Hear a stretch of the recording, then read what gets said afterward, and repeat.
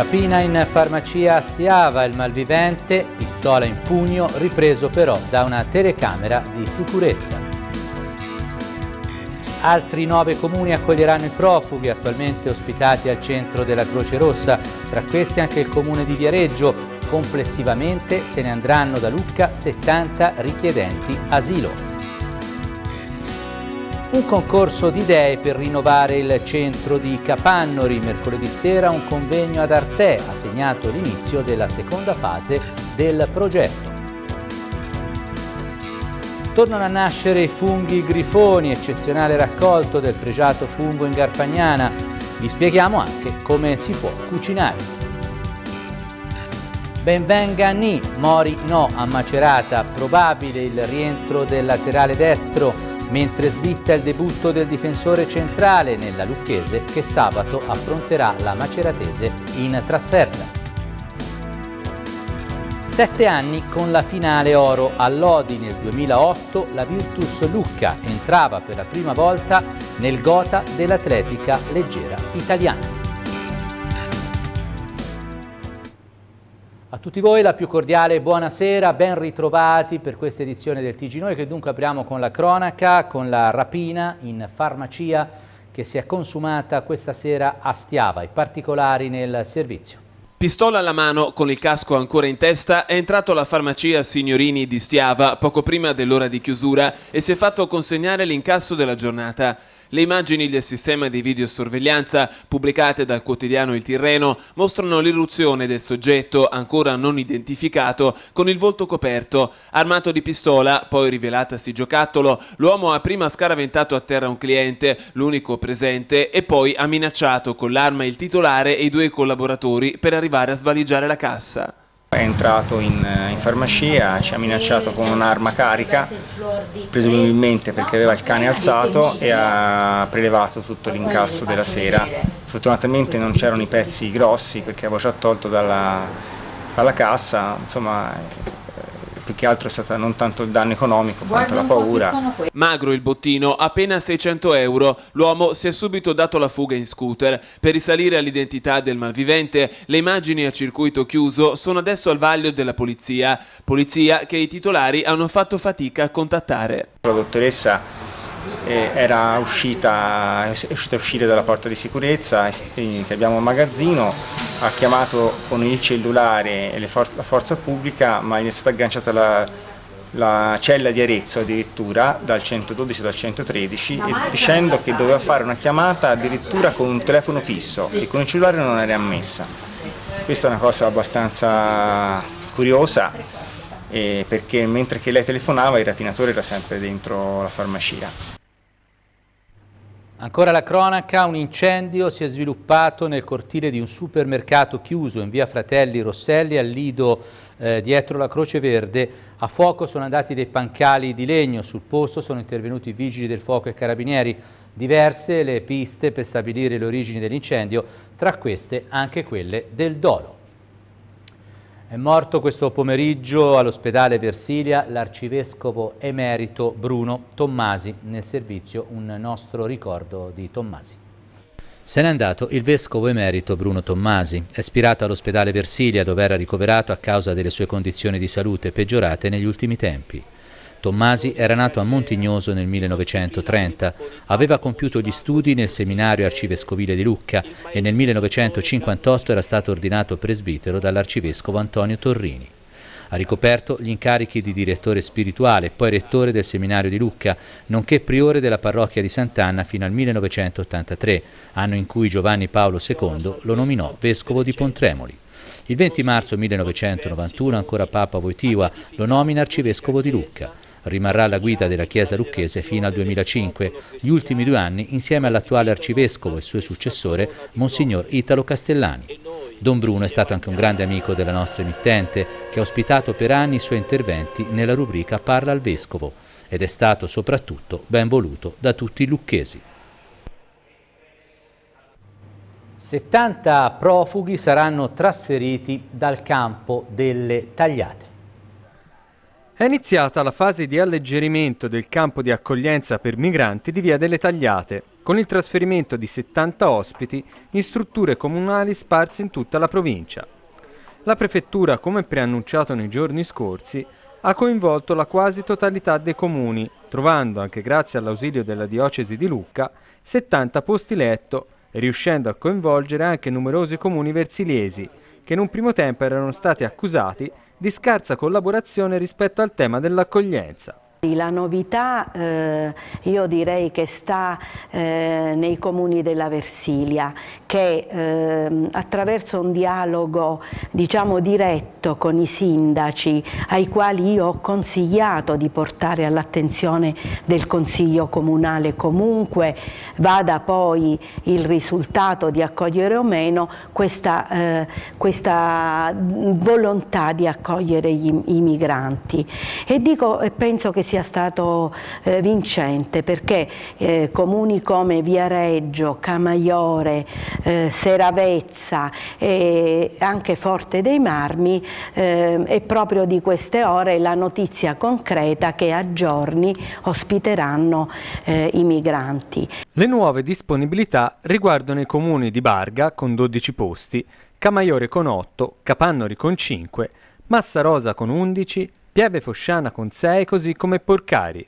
Seguono Vagli di Sotto con 8 posti e Forte dei Marmi e Viareggio con 10. Restano ancora da sciogliere i nodi dei comuni che ancora non hanno dato disponibilità di posti, primi tra tutti Altopascio, Montecarlo e Pietrasanta, e per i quali la prefettura sta ancora mediando per riuscire a riportare la struttura di Via delle Tagliate ad un massimo di 60 persone smistabili in pochi giorni. Sullo spostamento del mercato settimanale di Lucca da via dei Bacchettoni alle Tagliate ci sono due interventi. Il primo è dell'ANVA, eh, dell'ANVA eh, scusate, Confesercenti, che valuta positivamente la decisione del Comune di rinviare il trasloco al 2016 e chiede all'amministrazione di convocare un'assemblea per consentire a tutti gli ambulanti di esprimere la propria opinione. Il secondo intervento è invece del Comitato Vivere il Centro Storico, secondo il quale il mercato deve assolutamente lasciare via dei bacchettoni, questo a causa dell'impossibilità per i mezzi di soccorso di raggiungere le abitazioni dei residenti della zona, ma anche per il traffico che si produce a causa della chiusura delle strade e per le pessime condizioni igieniche dei bagni. Parliamo di arte della mostra di un pittore di fama internazionale ma originario di Lucca che sarà aperta sabato prossimo.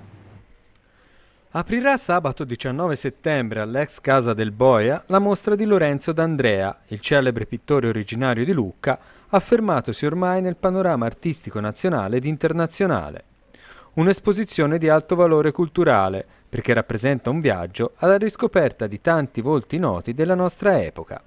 Saranno infatti esposti una lunga serie di ritratti di persone importanti della scena politica, culturale e religiosa della nostra epoca, dipinti da D'Andrea nel corso degli anni.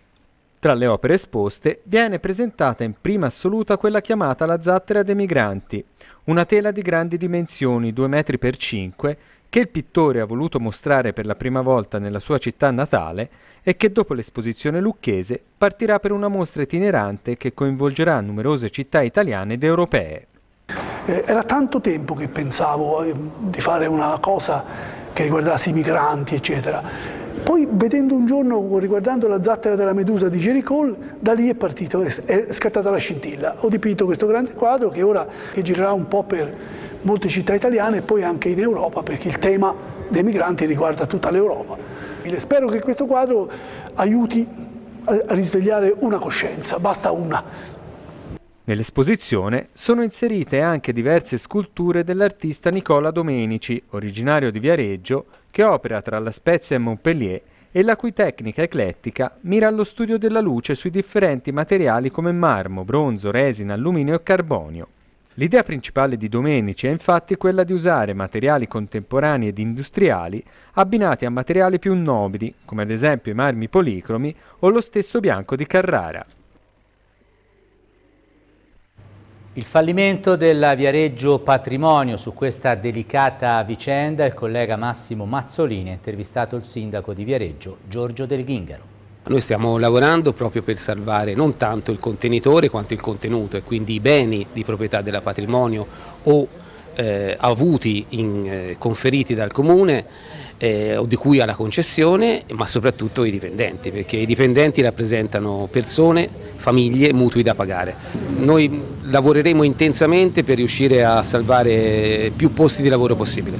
Questo è quanto ha riferito stamattina il sindaco del Ghingaro prima dell'inizio della riunione con il curatore fallimentare della Vereggio Patrimonio, dottor Bonomo di Lucca. Non una parola di più da parte del primo cittadino, né sul futuro dei 63 dipendenti in forza alla partecipata del comune, né sul futuro dei beni della Viareggio Patrimonio.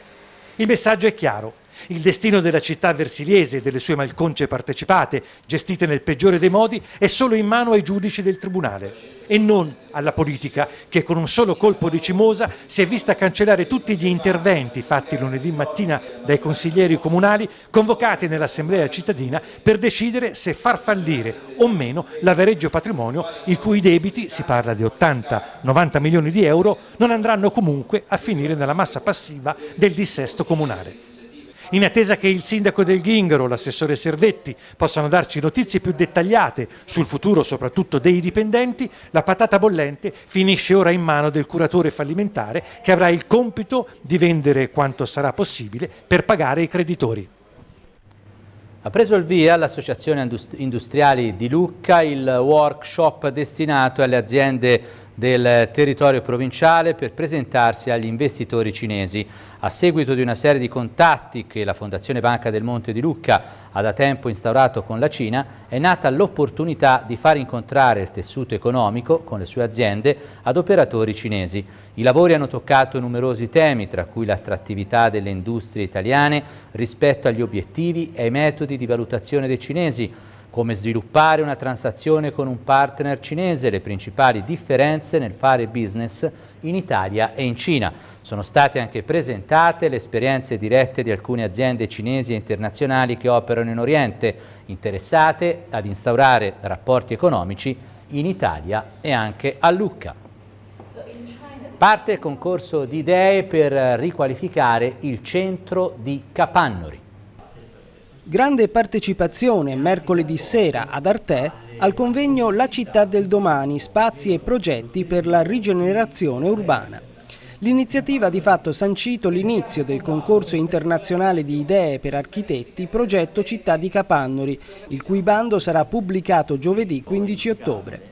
È la nuova fase del progetto per riqualificare il centro di Capanno rivoluto dal sindaco Luca Menesini, che così spiega il suo obiettivo. Creare la città di Capannori significa trasformare Capannori rendendo spazi vivibili, spazi dove si vive bene, spazi dove diventa fruibile la mobilità, anche la mobilità pubblica piuttosto che la mobilità leggera, dove c'è verde e dove ci sono spazi dove i cittadini si possono incontrare. Il convegno era promosso dal Comune di Capannori in collaborazione con quello di Lucca e l'Ordine Provinciale degli Architetti. Alla serata, ben condotta dall'architetto Stefano Modena, dirigente dei servizi alla città del comune di Capannori, sono intervenuti gli esponenti del gruppo G124, ovvero i giovani architetti di Renzo Piano, che hanno illustrato alla platea due innovativi progetti di rigenerazione urbana realizzati a Catania e a Roma spiegando quali sono i punti di forza di questi progetti e qual è quindi l'opportunità che si apre anche per Capannori.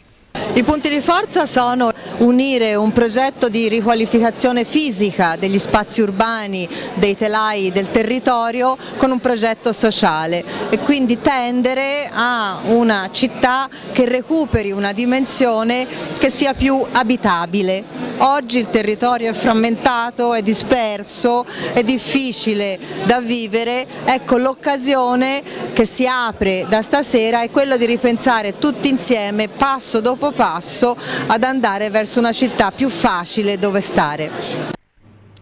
L'ASL 2 ha annunciato la partenza di Cardio 50, il programma di screening contro il rischio cardiovascolare rivolto a maschi e femmine nati nel 1964 e residenti nel territorio di competenza della ASL. Parliamo di funghi, in Garfagnana in attesa dei, dei porcini per il momento sono spuntati, sono nati molti grifoni. Come ogni anno, nel periodo a cavallo tra l'estate e l'autunno, si torna a parlare di funghi. Anche se la stagione dei porcini sembra ritardare, in Garfagnana stanno tornando a nascere i grifoni. Si tratta di una specie di funghi molto apprezzata dai ricercatori. Quelli che vediamo sono stati raccolti tutti da un unico cercatore, come ci conferma Piero Valdrighi, da anni commerciante di funghi. Certo, è da anni non succedeva una cosa di abbondanza così, poi trovata da una persona sola. Arrivano dalla Garfagnana, quello di sicuro, dove arrivano non lo dico a nessuno, anche perché il raccoglitore non vorrebbe mai che io dicessi dove è nato questo grifone. I grifoni possono anticipare la nascita anche dei porcini? Sì, io penso che fra una quindicina di giorni arriveranno molti funghi porcini, anche perché un trovamento così non è semplice, vuol dire verranno fuori anche tanti porcini, ma bisogna aspettare che arrivi la stagione giusta, un po' di sole, un po' d'acqua, così. Davvero complimenti al cercatore che è voluto rimanere anonimo. Ma come si possono cucinare i grifoni? Allora, quest'anno è una grande annata di funghi, sembra una grande annata di funghi di, di, grifone che è stato riconosciuto dalla regione toscana commestibile da non tanto tempo. Io consiglierei di cucinarlo eh, sott'olio per mantenerlo e per servirlo insieme ad antipasti, altrimenti eh, anche in umido o sempre in bianco facendoci delle tagliatelle. Chiudiamo con un appuntamento, domani sera venerdì 18 settembre su Noi TV torna lo speciale TG Noi Dido. La puntata di domani sera, la prima della nuova stagione, sarà dedicata all'elezione del nuovo presidente della provincia. In studio ci saranno la presidente uscente Maura Cavallaro, la segretaria generale Paola Maria Lafranca e due candidati a presidente, il sindaco di Capannori Luca Menesini e quello di Fabbriche di Vergemoli Michele Giannini domande e commenti tramite sms al numero 360 10 38 330. Con questo è tutto per quanto riguarda la prima parte del TG Noi, ci fermiamo per una breve pausa pubblicitaria e torniamo subito dopo con la pagina sportiva.